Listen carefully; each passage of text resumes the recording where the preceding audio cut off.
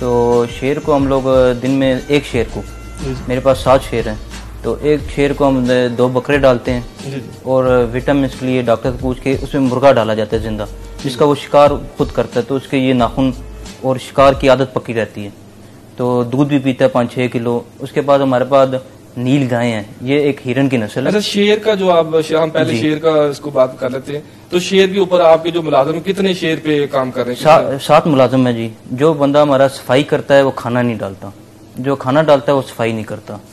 तो दो wild life के डॉक्टर हैं जो। डेली बेसिस पे वो शेर को चेक करते हैं? जी डेली बेसिस पे चेक करते हैं। खुराक मैं खुद डालता हूँ अपने हाथों से। मैं अगर यहाँ मुझे माशाल्लाह जी क्योंकि अगर आप शौक रखते हैं तो फिर वो खुराक तो आप खुद खुद खुद। जी जी मैं दिन में तीन चक्कर भी लगाता हूँ जिसमें सफ़ाई भी देखता हूँ और दो दफ़ा इसका पानी चेंज होता है जो पानी वो पीता है। शेर को जो पानी देते जी शेर जो पानी पीता है उसे आप दिन में दो दफ़ा चेंज करना पड़ता है। जी जी।